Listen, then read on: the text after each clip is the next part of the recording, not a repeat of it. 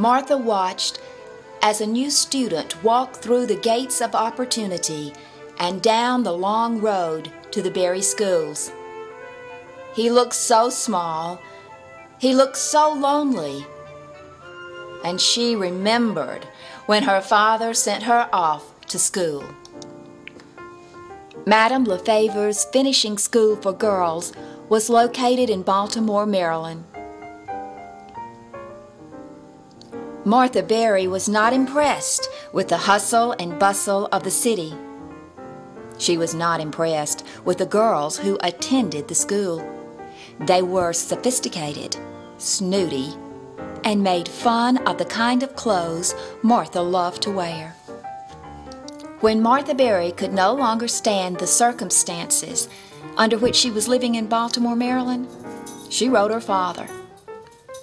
She told him how much she missed Oak Hill. She missed her family. She missed Aunt Martha, who'd worked for the family for as long as she could remember. She told her father about the girls, how snooty they were, how they mistreated her, and about how her clothes were different. She ended the letter Papa, I am coming home as soon as possible.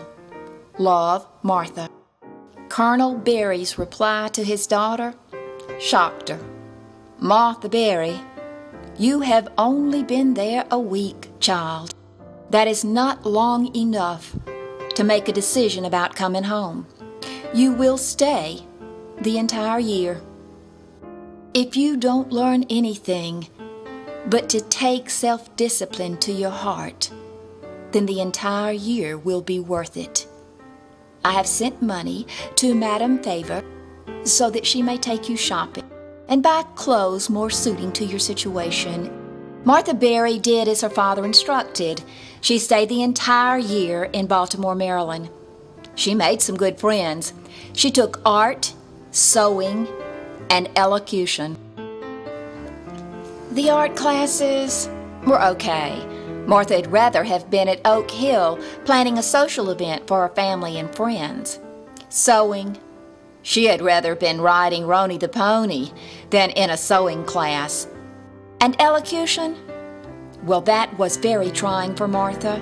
She'd rather been in the log cabin, reading alone, than standing before her classmates, making a speech or reciting poetry.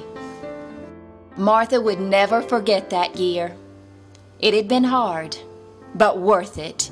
Some years at Berry, it took all the self discipline she could muster to keep the gates of opportunity open for students who wanted to come to the Berry schools to learn.